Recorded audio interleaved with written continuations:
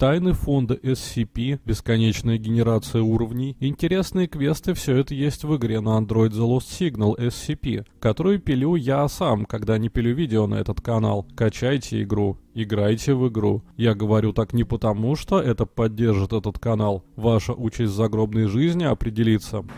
Ссылка в описании. Всем привет! Случилось то, чего мы так долго ждали. Настало время представить невероятного и блестящего доктора Развлечудова. Все мы слышали о нем так или иначе. Такое чувство, что он успел побывать в каждом аномальном уголке мира SCP. Более того, многие из этих аномалий сделал он сам, наделяя абсолютно безумными свойствами. Большинство аномалий, создаваемых им, нелепы и забавны, и во всех случаях довольно смешные. Но смешно явно не тем людям, которые в эти аномалии попадают. Так кого же пытается рассмешить веселый доктор?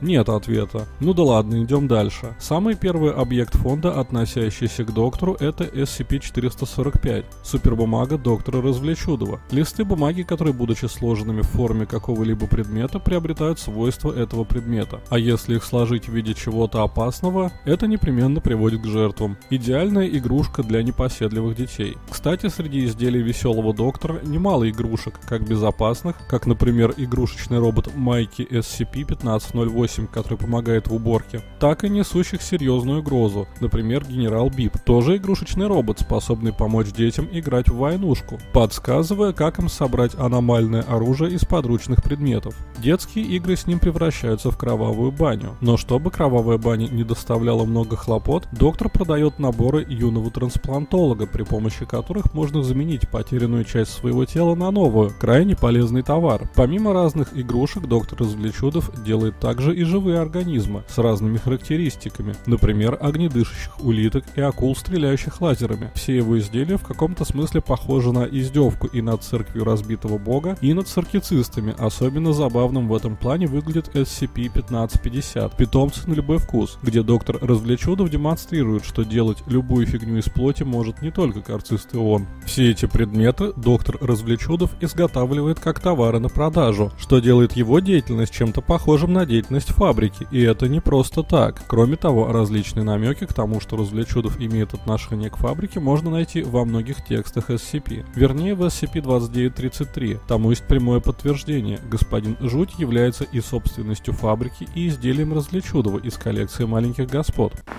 Энтони поднял защитные очки на лоб и посмотрел на человека, работавшего за ближайшей конвейерной лентой. Хотя они работали рядом уже года три, Энтони так и не удосужился узнать имя этого парня. Просто на фабрике это было как-то и не принято. Несчастные случаи здесь случались слишком уж часто, чтобы заводить друзей. И даже если вы не были в числе тех, кто пострадал от смертельной аварии, или тех немногих, кто просто бросился в машину, всегда присутствовала угроза однажды попросту исчезнуть. Тем не менее, прошло уже три года, а Энтони был по по-прежнему жив, по-прежнему работал на фабрике вместо того, чтобы бить нацистов. Когда-то он потерял большую часть левой кисти, но точно не мог вспомнить когда и как. Длинные смены слегка размывали чувство времени, но он все же по-прежнему трудоустроен, как и человек за конвейером по соседству. В отличие от большинства сотрудников, этот парень ни разу не пострадал ни в какой аварии, несмотря на свой трудовой стаж. Энтони не понимал, как это у него получилось, но как-то этот тип приспособился. Человек ставил клеймо фабрики фабрики на круглые жестяные банки, почему-то уже выглядевшие ржавыми. Он опускал рычаг вниз, и фабрика обрушивала одну из своих многочисленных рук, оставляя печать на жестянке. Затем лента издавала краткий стрекот и ставила перед человеком новую жестянку. Он повторял это действие, не фокусируя взгляда. Снова надев очки, Энтони почувствовал окутавший его изнуряющий жар. Он обернул блестящий обруч вокруг цилиндрической камеры и сварил его концы вместе, укрепляя конструкцию. Варить, имея всего полторы руки, должно должно было бы быть практически невозможно, но он никогда не испытывал с этим особых неудобств. Энтони даже не знал, для чего вообще нужна та штука, которую они здесь мастерят. Он просто собирал центральную камеру, а затем отправлял ее дальше женщине, которая прикрепляла к ней датчики и трубки. Потом он возвращался на свое место и принимался за другую камеру. Откуда они берутся, он не интересовался никогда. Ответы на вопросы о фабрике часто были весьма неприятными.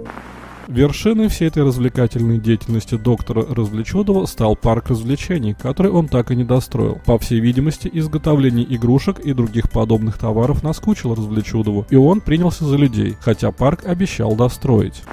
Это произошло в конце рабочей смены. Энтони до того запарился, что чуть не начал варить, не надев очки. Не успев поднести горелку к металлу, он почувствовал чью-то руку у себя на плече. Обернувшись, он увидел бригадира, помахавшего одним из своих многочисленных пальцев в знак игривого предупреждения. Несколько секунд Энтони пытался понять, что от него хотят. Затем надвинул очки на глаза. Он был уверен, что его глаза скоро закипят, но он знал, что бригадир подвергнет его куда более серьезному взысканию. Он почувствовал, как бригадир легонько погладил его по голове и краем искаженного очками зрения увидел, что тот уходит. Энтони поблагодарил бригадира, тот небрежно махнул ему несколькими конечностями. Энтони приступил было к сварке, но тут заметил, что человек за конвейерной лентой ведет себя как-то странно. Человек улыбался. Энтони списал это на игры своего измученного разума. На фабрике не улыбался никто. Человек нагнулся, порылся в своей сумке, вынул из нее двух маленьких игрушечных роботов. Они не были похожи на что-либо из продукции фабрики. Слишком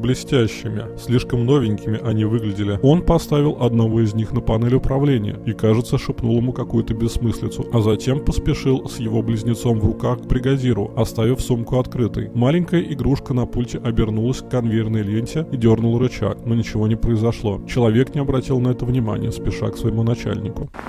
Итак, в итоге сами люди становятся предметом веселых игр доктора Развлечудова. Речь, конечно же, о наборе маленьких господ. Это 20 различных SCP, объединенных в коллекцию. Можно сказать, что эта коллекция — это еще одна нить сюжета во вселенной SCP. Кроме этих 20 есть еще несколько маленьких господ, по какой-то причине не вошедших в коллекцию. Чаще всего экземпляры из этого набора — это люди или, по крайней мере, человекоподобные существа, печальная судьба каждого из которых складывается в большую занимательную игру, цель которой для каждого каждого представителя коллекции прийти к финишу раньше других. Вопрос только в том, что есть финиш и каковы правила этой гонки. Судя по всему, маленькие господа получаются из обычных людей. Например, в одном из рассказов в такого был превращен доктор Кинг, хотя в набор он не попал.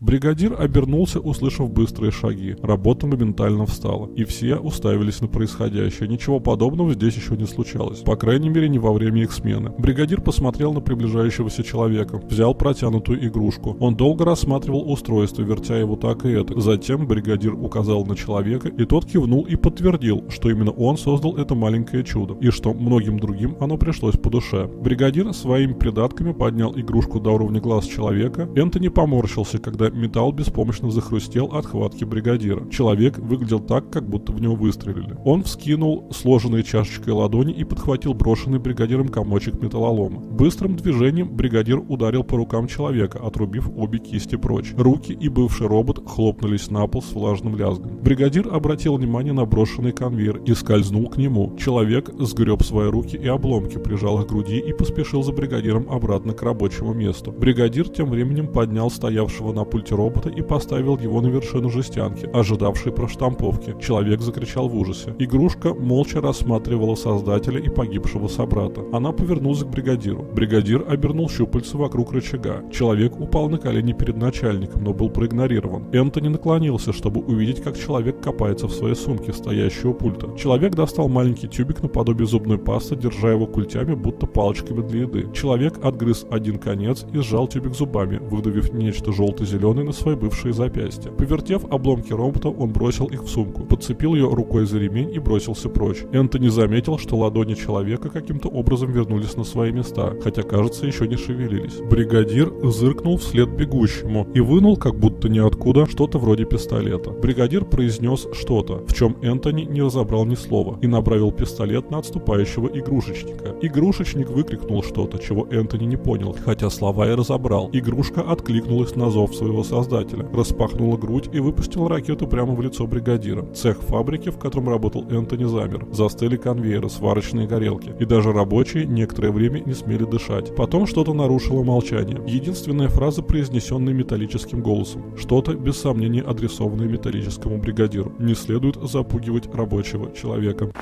Несмотря на то, что в фандоме SCP сложился вполне конкретный образ доктора Развлеченного, чем-то похожий на Вилли Вонку, в самих SCP-историях нет ни одного хотя бы минимального его описания, и по всей видимости не будет. Его образ внутри лора максимально размыт. В англоязычном хабе написано, что он может быть и человеком, и группой людей, и даже какой-то абстрактной сущностью. Из большинства рассказов по нему следует, что это работник фабрики. Хотя, судя по всему, не той, которая фабрика 001, потому что та фабрика, с которой сбежал доктор Развлеченов, существовала во время Второй мировой мировой войны, о чем говорит фраза, что Энтони мог бы сейчас бить нацистов. Итак, доктор Развлечудов каким-то образом узнал аномальные секреты фабрики и начал создавать вещи на их основе самостоятельно. Уже после бегства с фабрики доктор овладел аномальными секретами в совершенстве и может являться людям как в виде человека любого пола и возраста, так и в виде чего-то совершенно потустороннего, щедро даря при этом свои предметы людям, а в особенности детям. Его характер также не определен. Его изделия могут быть как опасны, так и полезны.